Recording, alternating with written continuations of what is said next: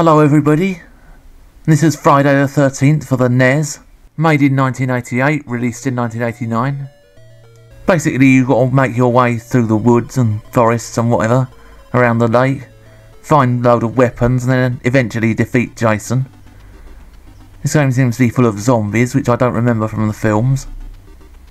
And seriously, if you asked a Friday the 13th fan what they'd want from a Friday the 13th computer game, they'd say they want to play Jason, I'm pretty sure of that.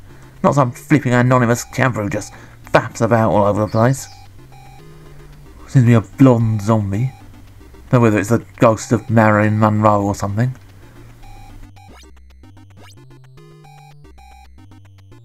And this music is absolutely rubbish. Absolutely nothing to do with Friday the 13th. It's an irritating little twiddly tune. You've got a cigarette lighter there. Yeah, that's, I'm sure that'll make an awesome weapon. So if Jason suddenly bursts out the wilderness at you, you can uh, light him a cigarette. Yeah, problem solved.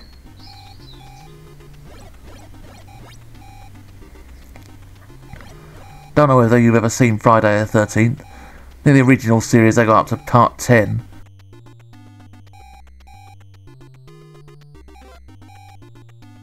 There's a knife there, I don't know how you get it.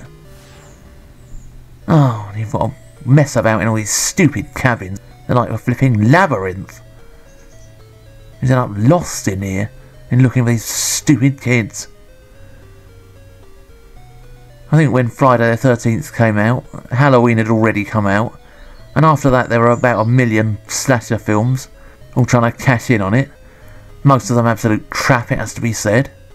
And just about every date you can imagine ended up as the name of a slasher film, although sadly there was never a slasher film called Pancake Day. Remember the sequel to that, they could have had Pancake Day 2. This time it's got sugar on top. And speaking of dates, there were these three men sitting in a pub, and one of them said, You know, my lad was born on St. George's Day. That's why we call him George. And another one said, That is a coincidence. My lad was born on St. Andrew's Day, so we named him Andrew. And this third bloke went, Oh, blimey, that is a coincidence.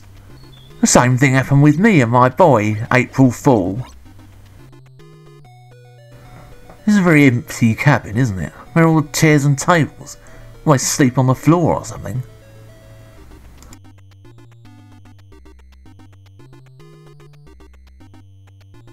There seems to be water zombies here.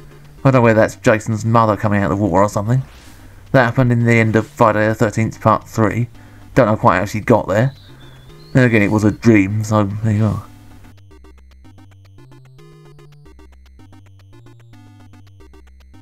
There's a killer bird there. Again, I don't remember that in any of the films.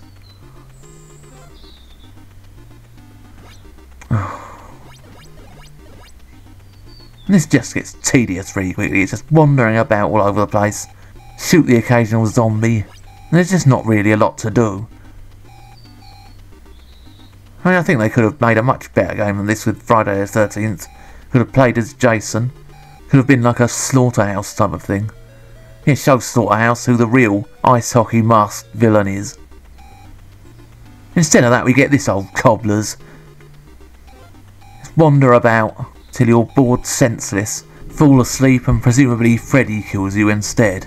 The end. I think there's an alarm that's supposed to go off. It means Jason has entered one of the cabins. You've got to put a stop to him. And with the almighty cigarette lighter of doom. Now I'm lost in this flipping cabin. I can't be bothered to play any more of this, it's just flipping tedious. Speaking as somebody who used to watch all the Friday the 13th films, grew up watching them actually, I think this is a complete waste of a license. Absolutely pathetic.